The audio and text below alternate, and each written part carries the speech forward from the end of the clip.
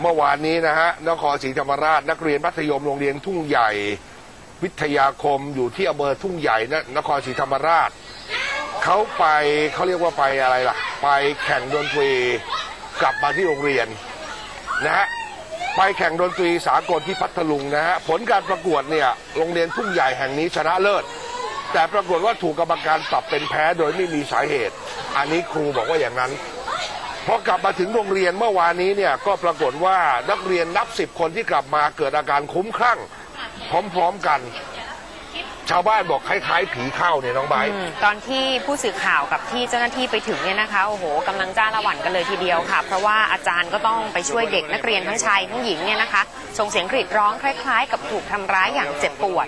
อยู่ตรงจุดก็คือหน้าอาคารเรียนเนี่ยค่ะครูก็พยายามที่จะปฐมพยาบาลช่วยเหลือ แต่ว่ามันก็ดูไม่เป็นผลนับรวมกันแล้วเด็กๆ ที่มีอาการแบบนี้สักประมาณ 20 คนค่ะหนึ่งในคุณครูของโรงเรียนทุ่งใหญ่วิทยาคมเนี่ยนะคะ คุณครูอมรินเจริญรูป ก็เลยไปเชิญ พระครูพิสารเขตคณารักษ์เป็นเจ้าอำเภอทุ่งใหญ่เนี่ยมาทำพิธีทางศาสนาแล้วก็ประพรมน้ำมนต์นะคะ ตอนที่เจ้าคณะอำเภอเดินทางมาถึงเนี่ยนักเรียนบางคนก็วิ่งหลบเข้าไปอยู่ใต้โต๊ะ คล้ายๆ กับว่ากลัวน้ำมนต์นะคะพระครูพิสารก็ใช้น้ำมนต์ประพรมไปตามจุดต่างๆเนี่ยเขาบอกว่าคนไหนที่โดนน้ำมนต์ไปแล้วเนี่ยอาการที่แสดงออกมาก็คือนอนดิ้น แล้วก็กรีดร้องออกมาอย่างเจ็บปวด แต่ว่าไม่ถึงนาทีอาการก็จะสงบลง หลังจากที่โดนน้ำมนต์ไปเนี่ยนะคะ พระครูก็ใช้เวลาในการประกอบพิธีกรรมประมาณสักครึ่งชั่วโมงกว่าๆค่ะสถานการณ์ในโรงเรียนทุ่งใหญ่ก็เริ่มกลับเข้าสู่ภาวะปกติ น้องๆ ก็เริ่มสงบลงเนี่ยนะคะ ระครูบอกว่าเรื่องเช่นนี้เนี่ยบางครั้งวิทยาศาสตร์มันก็อธิบายได้ แต่ว่าหลาย ๆ ครั้งวิทยาศาสตร์ก็อธิบายไม่ได้เช่นเดียวกัน อืมเมื่อวานนี้ก็เลยมีการนำน้ำพระพุทธมนต์ไปประพรมตามพิธีกรรมโบราณเนี่ยให้กับทั้งเด็กๆที่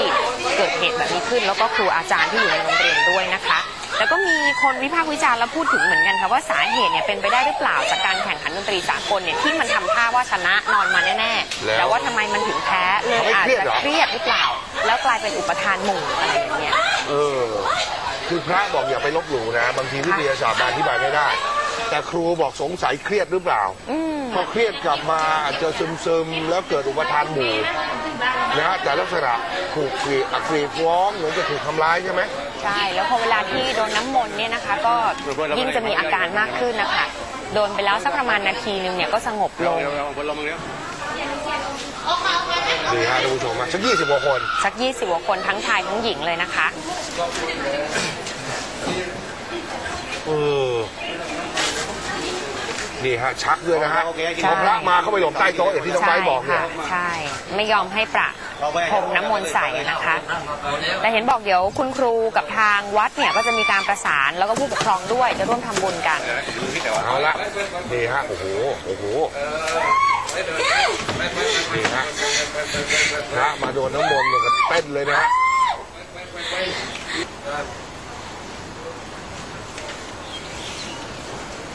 นอนนิ่งๆลงดูเลยก็ถือเป็นปรากฏการณ์ละ